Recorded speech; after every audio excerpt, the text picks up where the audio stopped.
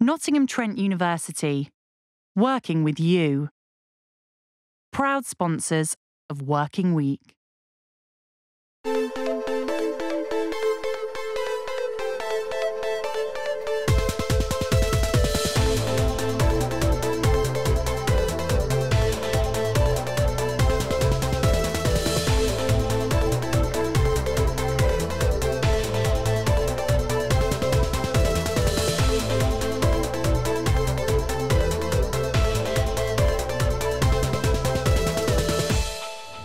Working Week this week.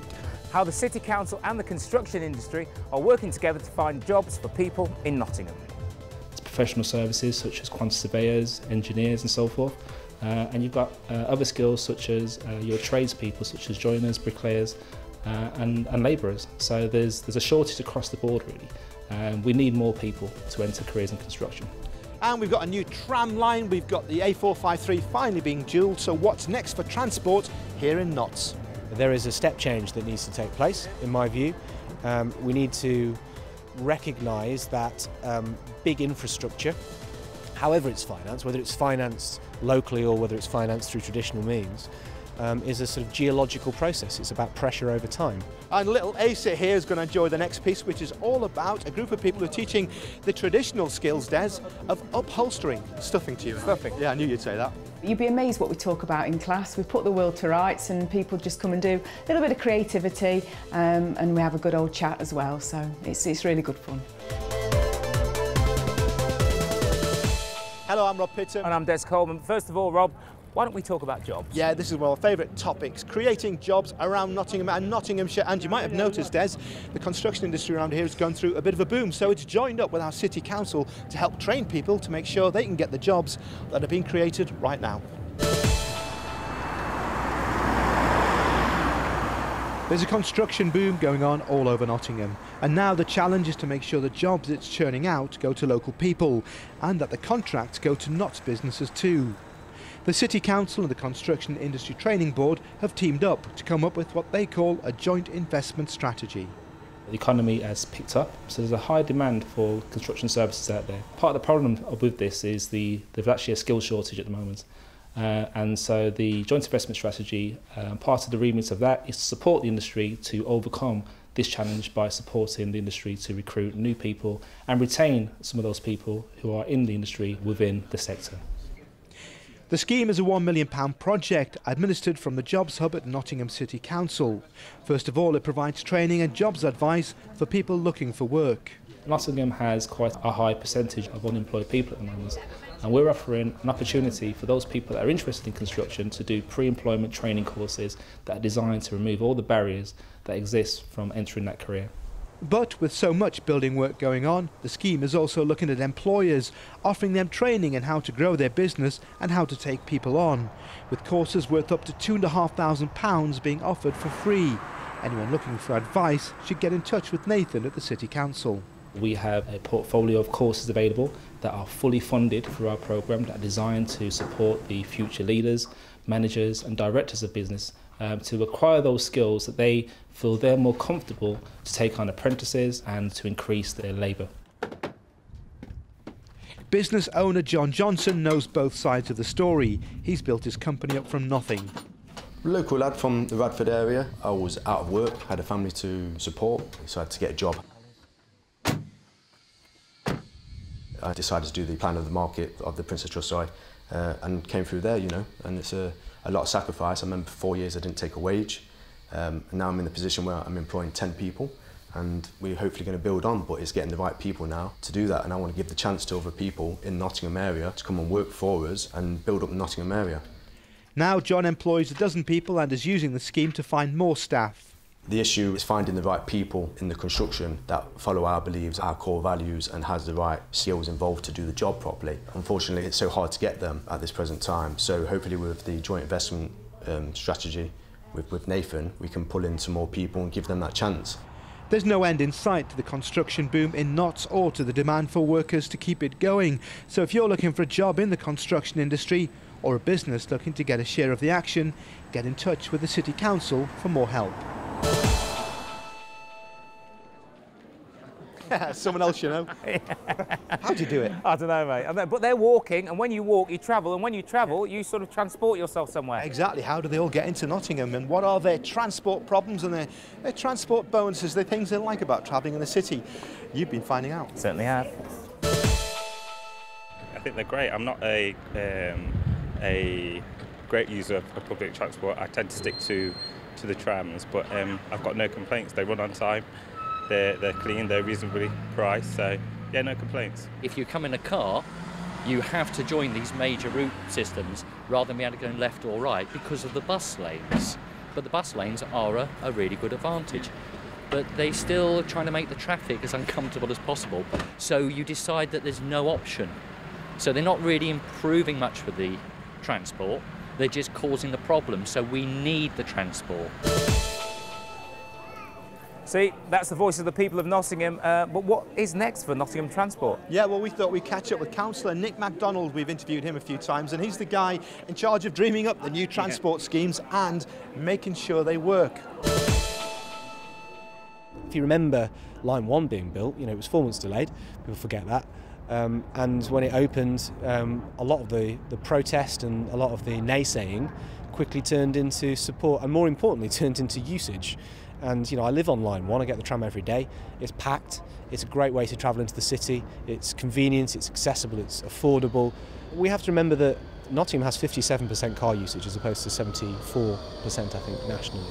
That tells you something actually. It tells you that a tram system is about connecting people to their city about giving them the ability to move around the city. And in a city with deprivation like Nottingham, it's particularly important. So um, I think now that we're at the end of Net Phase 2, I think we'll see the same thing that we saw with Line 1, which is people recognising that, you know, when you, all you can see is roadworks and you can't get into the town, um, of, course, of course it's difficult, disruptive and annoying and frustrating. Once it's finished and you can jump on a fantastic tram and you can have a smooth ride sweeping through Beeston, sweeping past QMC up into the city, uh, people will feel differently about it. Of course they will, because it'd be a great way for them to get into town.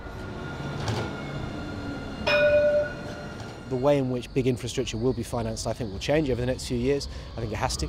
Um, you look at um, cities in Europe uh, and elsewhere in the world, and they have a much more uh, progressive way of thinking about developing the infrastructure uh, in their cities. And you know, it's, it's fundamentally about having local control uh, and being trusted to drive your city forwards. You know, and this used to happen in the UK. You know, in, in Birmingham, where they built the great sewer, sewer system, you know, in the late 19th century, they didn't ask permission from central government to do that. They got on with it because they had the, the tools, the mechanisms to do it. We don't have that now. We have a very centralised form of government. I think that needs to change. I think um, we did very well in this city in getting the funding we needed to build lines one, two, and three. Um, I think I'd like to hope that in the future um, we'll have the ability to make that sort of decision for ourselves. Well, I like to give a little bit extra, uh, ask any of my girlfriends, um, but on working week, we like to give a bit extra as well. Yeah, I'm just working out if we can get away with that. I think we will. Nobody noticed. We'll just carry on. Yeah, we featured the um, chocolate maker out in Clifton a few weeks ago. And what we didn't have time to show you at the time was the fact that he trained with someone very famous, Heston Blumenthal of all people. And we thought what he had to say was quite interesting. So here are his recollections of working with that famous chef. I remember searching Heston one day on Google and I got through to his Fat Duck and I was just having a, like a quick root round at his website, having a look around. And at the time there was accepting uh, stagiaires, they call it in, in the industry, which is work experience. You go there to learn. And Heston, you have to spend a minimum of a month and you go around all the sections to do with Fat Duck. So I just sent my CV and a bit about myself to the HR lady and then she emailed me back straight away with some questions about food. I emailed them back and then she accepted me. She gave me three different dates and then I chose the date that I could do and then I, I went there and done it. Uh, worked on several different departments throughout the Fat Duck. It was an amazing time as well, a really good time. Heston Blumenthal is a really, really nice person. Uh, he's got a fantastic team. Uh, they're all fantastic uh, and they're just so knowledgeable there. They know a lot about a lot of different things and they're not scared to tell you and help you. And the head chef, Jonny Lake, he's, um, he's very knowledgeable and very, um, very gives his time to you, very polite and, and the way that he explains things and, and that sort of thing. Very, very good place to work, very good place. It's not just Cocoa Pod though, which has links with celebrities. Look at the names on this wall of fame. It's at one of Nottingham's longest established Indian restaurants, the Mogul e Azam. Perhaps it's not surprising given its location for hungry performers just around the corner from Rock City, the Theatre Royal and the Concert Hall.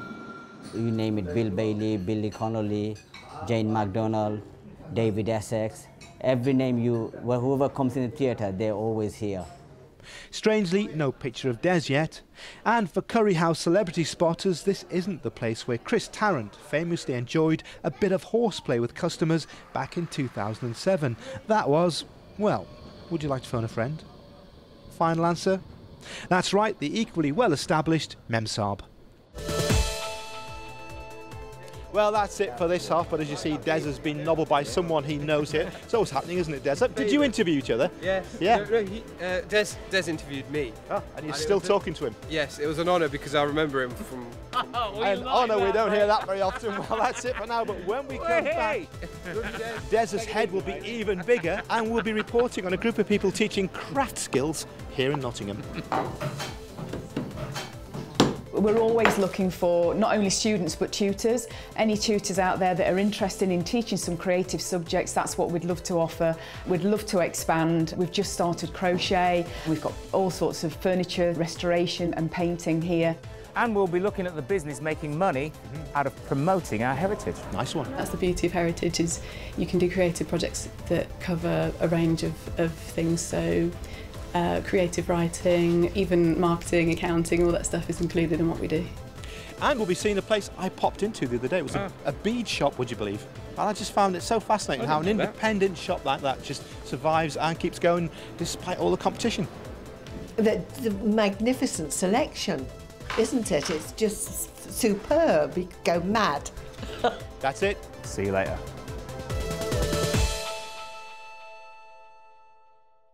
Nottingham Trent University, proud sponsors of Working Week. Nottingham Trent University, proud sponsors of Working Week. Welcome back to Working Week. Yep, and in this half we'll be looking at the people teaching traditional craft skills, craft skills, traditional craft skills like upholstery.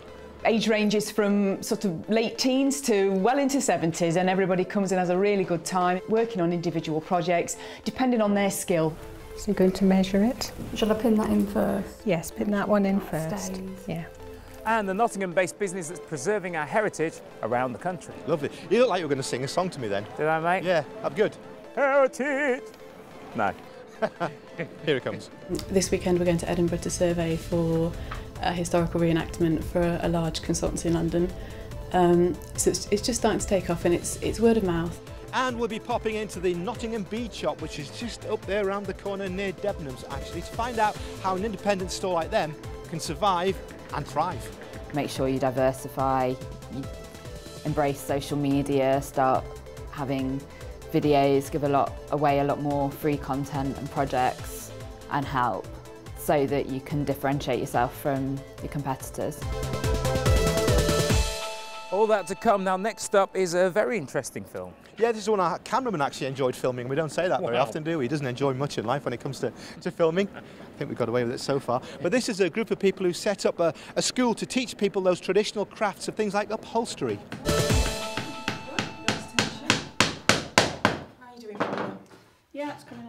It's a classic case of the private sector providing what the public sector no longer does. Although in this case it's in the rather unusual field of evening classes. Once scenes like this were common in schools and colleges across the country. Adults learning skills and hobbies away from the world of work. Now though they're disappearing rapidly. Okay, Hilary, so what you need to be doing now is what we call a T cut. When Naomi Wagstaff lost her job teaching soft furnishings and upholstery at a Nottingham college, she decided to set up her own venture, passing on her knowledge as a teacher but running it as a business. Can you see how that forms a Yeah. T? So that's the fold, the top of the T, and the T comes up to there. Upholstery and soft furnishings, I teach 10-week courses, which at the moment are non-vocational. Students just work individually on their own projects, and they're rolling courses, so if something takes longer than 10 weeks, there's the facility to roll on to the next course and so on. So larger projects may take a year, uh, a year's course, so that's where we're currently at. Um, but I'm really pleased to say that from January, January, we're going to be able to offer accredited courses with City and Guilds starting at level two, and that will be in upholstery and soft furnishings and pattern cutting, and then hopefully moving on to um, more advanced level three. So uh, we're really delighted to do that. So this end is going to be flush. Deirdre Robbins helped Naomi to set the courses up. It's been two years now, and for the last year, the business has been operating out of a studio in St Anne's, and the students are learning fast. Make sure you've got all your pattern pieces in the right place. Okay. And make sure you've got your straight grain. People come for all sorts of reasons. So sometimes they'll come because they want to learn a particular thing. They have a particular project in mind. They might want to make something for their house or some garments. Sometimes they want to start a small business, so they might have some basic skills and they want to improve that and, and start a business. And sometimes they just do it for just the sheer pleasure of learning. Some people just like to learn and, and do things and acquire skills and build their skills up. So Calvin, well done. You've managed to strip it all down. Took a while. Very, yeah, very uh, time consuming. I'm sure it but, is. um, I'm sure it is. But what The atmosphere at the studio is different to a college course. It's relaxed and there's no stress of exams at the end. Make sure you keep a nice straight line. I think the great thing about here is we're totally independent, so we haven't got the uh, the paperwork regime that comes with a lot of colleges. We've not got the hoops to jump through like colleges have. So um, students feel very relaxed because uh, they haven't got to follow a specific criteria. They're just coming for fun and actually learning the skills that we offer. For the students, it's a chance to follow a hobby or a dream, putting together their own individual furniture or creating a dress design that's unique. I've been coming a year, or just over a year last summer. I'm doing the fashion course. I make my own 1940s reproduction clothing. I learn something every week because when I started, I've retired now, and I only got schoolgirl sewing, which I thought was adequate. I thought, oh, I'll progress a little bit. So I came along to Deirdre about a year ago. Even something simple like putting a zip in, I was doing it all wrong. This is a really old fabric. It's called double faced fabric, so it's quite thick. And the pattern was an authentic 1940s pattern that, with help in the class, I managed to alter to fit me. So I'm really thrilled with it. And everybody thinks it's the real thing. It's, it's very special because it has uh, squared sleeves. It's not a normal, it's not a normal sleeve. It's uh, a square one, so it's quite quite different to the everyday stuff. So nobody else has got this. This is unique, which is really exciting. Put the first coat on and then we're going to go over it just with a lighter colour. It's going to be something similar to the to the drawers there. Now the studio is looking to expand and offer a wider range of courses, many of which have disappeared from the curriculum of evening classes across Nottinghamshire. We're always looking for not only students but tutors. Any tutors out there that are interested in teaching some creative subjects, that's what we'd love to offer. Um, we'd love to expand. Um, we've, we've just started crochet. Uh, we've got all sorts of furniture uh, restoration and, and painting here. And uh, we'd like to do that, you know, even maybe photography or something like that. There might be somebody out there that's interested in coming and joining us and, uh, and offering that as well. So um, it'd be just perfect to be a creative hub uh, just outside the city here. The squeeze on public spending means colleges are cutting back on courses like these, but there's clearly no lack of demand from people wanting to try their hand at a hobby or a craft. And this is one private venture that's hoping to step in and fill that gap in the market. Lovely. So that's the finishing touch. That looks amazing. Well done. Next, let's catch up with what's going on at the Hive Incubation Centre. Yeah, this is a place we featured a few times, set up by Nottingham Trent University with the aim of encouraging people to set up business, not just its students, but pretty much anyone in Nottingham who's got a good business idea. We featured some of the firms that are based there. Let's see this one. This is a company which makes money out of our love of British heritage.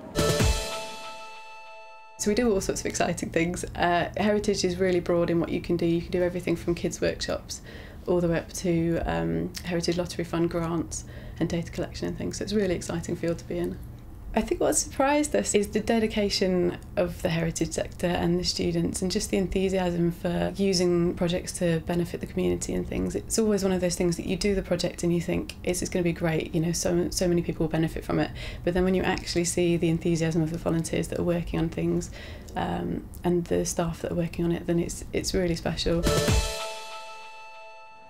Here's an idea that uh, you had. I don't have many, but this is one of my ideas, yes. Well, I popped into a bead shop just around the corner from here a couple of days ago, and I was fascinated by the way an independent shop like that is surviving despite all the competition, and I thought there was a lesson there for anyone who runs a business like that. It's been a tough few years for independent shops, and the ones which have survived the recession have had to work hard.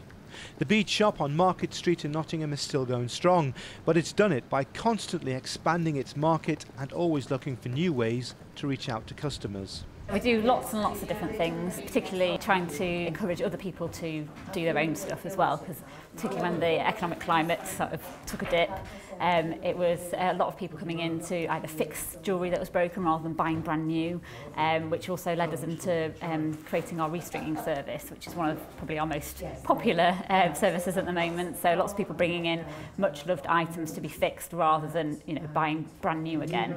And it's also led people onto realising, oh, I could do this for myself, doing our workshops. Our workshops are run um, almost weekly at the moment, and again, we take a lot of influence from what customers want to learn. There's also a heavy emphasis on selling over the internet, with up to 100 orders a day going out.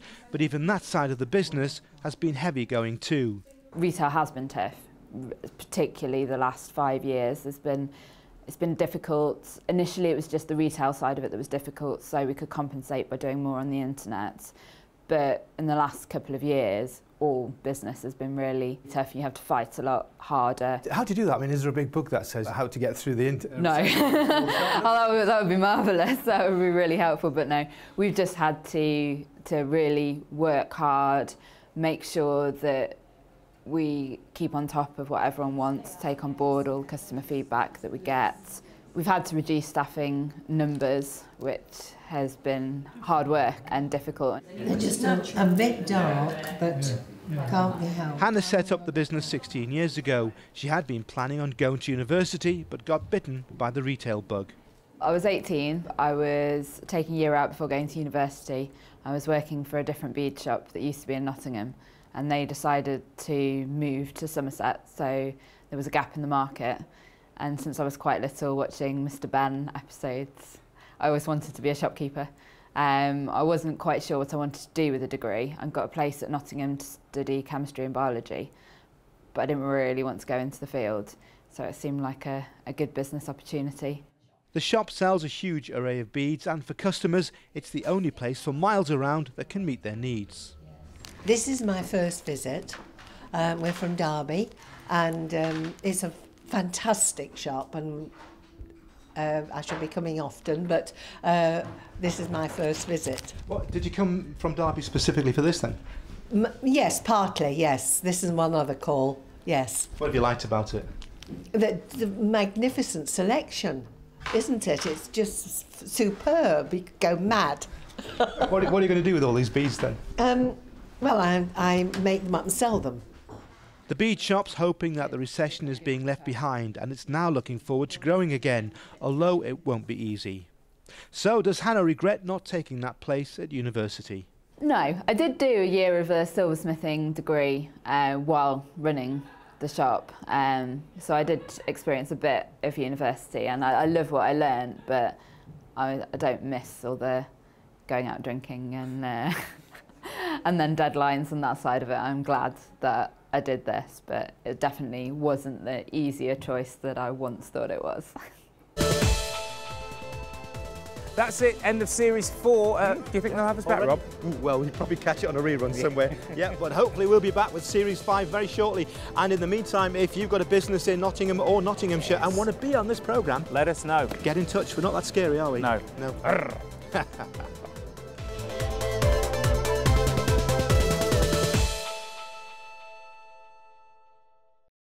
Nottingham Trent University, working with you. Proud sponsors of Working Week.